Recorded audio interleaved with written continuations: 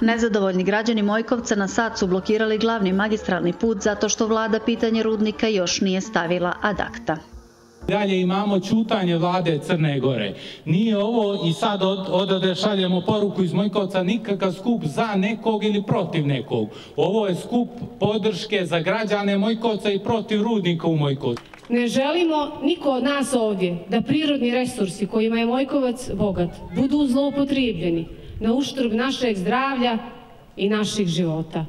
A ukoliko vlada ne preduzme konkretne korake, najavljuju da će tokom ljetnje sezone organizovati blokade puta, kako bi ih, kažu, jasnije čuli u Podgorici i na Primorju. Poručujemo predsjedniku vlade i ministrima u vladi da se ne igraju sa strpljenjem i voljom građana Mojkovca.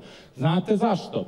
Zato jer ljudi iz centrala, iz centrale Crne Gore i ljudi sa juga moraju da su svjesni da problem Mojkovca može biti i njihov problem. Vladi poruka raskidajte ugovor ili ljetnja sezona će biti veoma zanimljiva u Mojkovcu.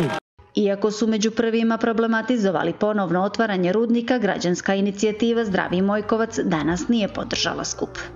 Mi ne želimo da učestvujemo u nečim političkim mitinzima. Protest organizuju, organizuje dominantno ona politička grupa koja je dovela rudnik i rudarsku kompaniju Mojkovac, kojoj deset godina ta rudarska kompanija niti Brskovo otvaranje rudnika nije smetalo, sve im je to bilo isplativo, to im je bila razvojna šansa, im živa nije bila otrovna, E, kada, su, e, kada se promijenila uh, raspodjela vlasti odjednom i kada smo mi iznijeli tu borbu i kada smo ukazali na opasnosti, odjednom je sve to postalo problem što im deset godina nije bilo.